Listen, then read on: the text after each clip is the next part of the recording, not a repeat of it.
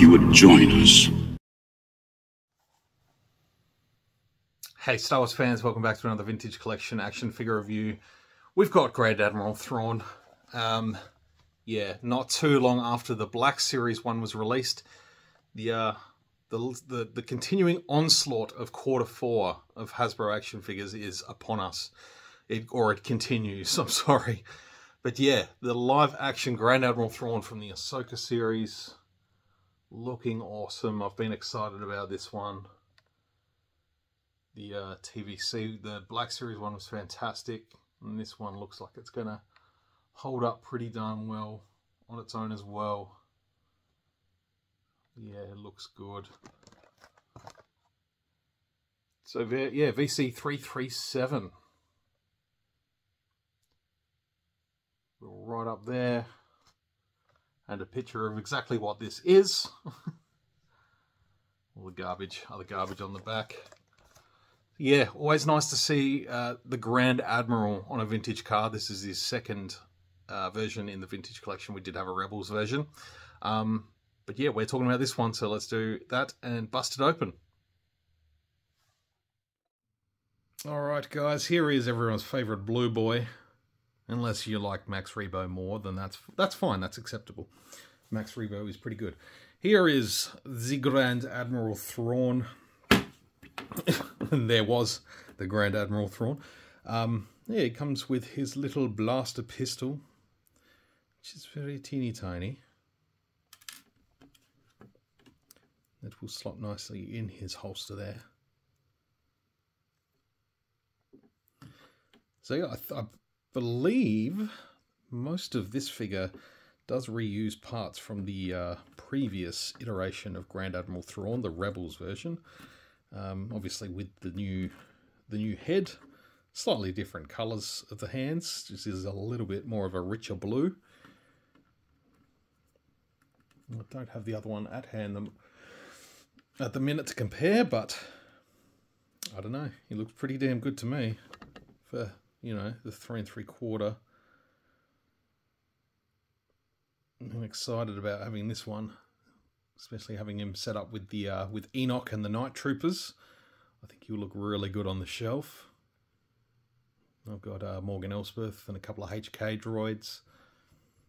So yeah, we're just just sort of hanging out for uh, Granddaddy Thrawn to show up.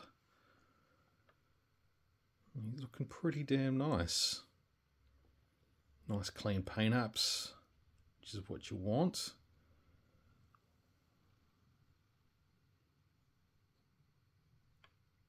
Got the uh, the nice little gold touches on the epaulets. Yeah, they did that. The same thing with the uh, the Black Series one. Just didn't quite hit the edges there, but that's all right. His rank insignia there, nicely cleanly painted. Looks good. The belt looks solid. Nice. Yeah, a little bit of black scuffing there, but whatever. It's going to happen. And he's got a couple of pockets full of change there. And nice black boots. Yeah, it does look nice, doesn't it?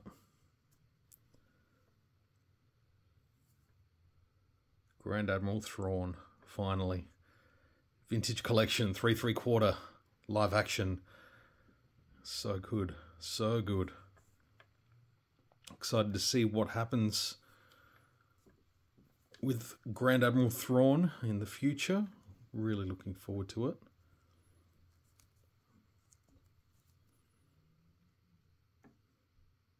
yeah, nice, nice, clean looking figure, which is great. Articulation wise, he's got the double ball, double ball joint in the head.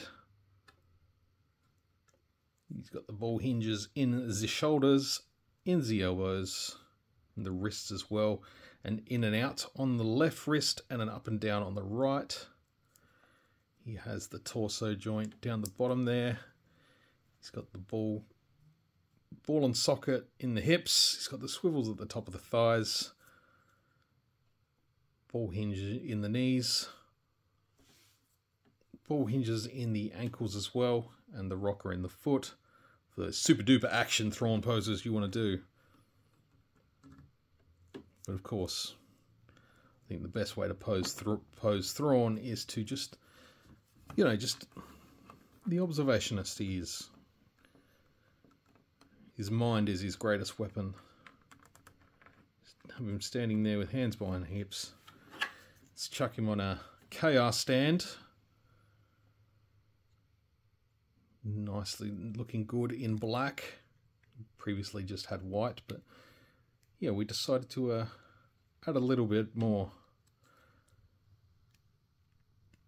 It's not the most snug fit in the foot there, but I mean, you can, due to these being 3D printed, you can shave a couple of layers off the top of the stand just to get that on there a little bit more.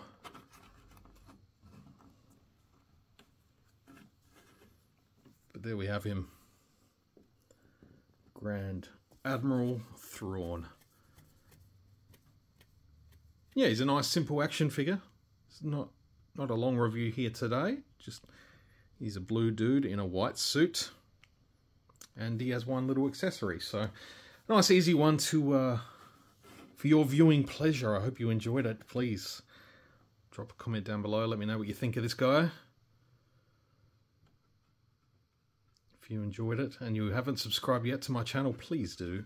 That would be freaking cool as all hell. But yeah, next up we're going to be taking a look at Ahsoka, so stay tuned for that one. The Peridea Ahsoka, I'm looking forward to it. Hope you enjoy it. Hope you enjoyed this one. We'll see you again very soon for some more Star Wars reviews. Until then, may the Force be with you always.